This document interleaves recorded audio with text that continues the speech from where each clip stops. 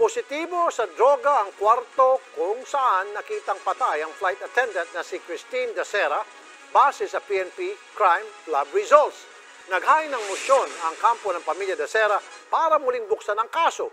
Isinumiti bilang ebidensya ang resulta na nagsasabing positibo sa dalawang uri ng droga ang swab sample mula sa room 2209. Bukod sa droga, nagpositibo rin ang kwarto sa semen analysis. Mismong ang mga respondent ang nagsiwalat ng impormasyong ito.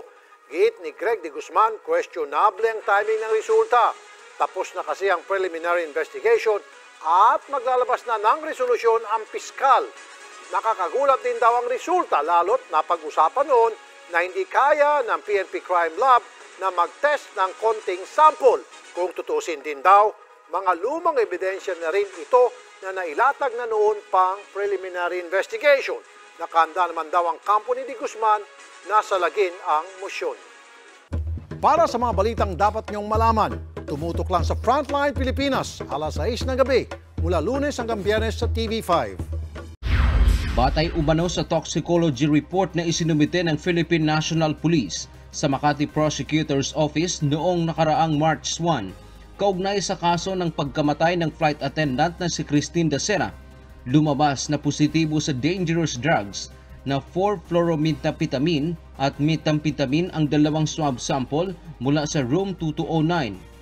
May semen din umano sa body fluid specimen na isinailalim sa pagsusuri mula sa kaparehong kwarto. Kaugnay nito naghain ng musyon ang PNP upang muling buksan ang investigasyon sa kaso. Samantala, nababahala naman ang mga respondent dahil posibleng matagalan pa ang inaasahan sanang resolusyon sa kaso. Matatandaang noong February 17 ay tinapos na ng piskalya ang preliminary investigation at hihintay na lang ang resolusyon. Samantala, kinwestiyon naman ang kampo ng mga respondent ang umano'y delaying move ng PNP. it's just trouble, troublesome and worrying on our, our on our part that this additional pieces of evidence which are which were already available as early as March uh, February 11 what the other ones February 9 is only uh, are only being submitted today or this week. What's what's the purpose of delaying? If it's already available why delay the submission? That is our question. Gayunpaman, naniniwala si Attorney Santiago, abogado ng mga respondent, na walang epekto sa kaso ang panibagong ebidensya ng PNP. if whether this will uh, this will uh, affect us our case what's the what's the case in in, in the no first bearing. place no bearing. rape with homicide there's no bearing whether there's there are uh, drugs on the premises or not doesn't really affect the the the, the case basically Sa ngayon, hinihintay na lang umano ng respondents ang posibleng kautusan ng prosecutor na magsumite sila ng komentaryo sa musyon. Dantiamento UNTV, News and Rescue. Diyos ang aming sandigan, serbisyo publiko ang aming pin nais daw buhayin naman ng uh, Philippine National Police ang uh, kaso naman ng pagkamatay ng dalagang si uh, Christine Dacera. Ano kaya nag-udyok sa kanila para gawin ito? Ma-report si Rod Lagusad.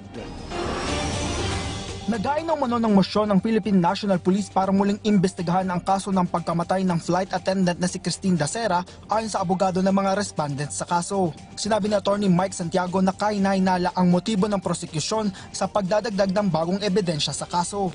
So this raises a lot of questions on our minds, no? So, what's the relevance of this, ano?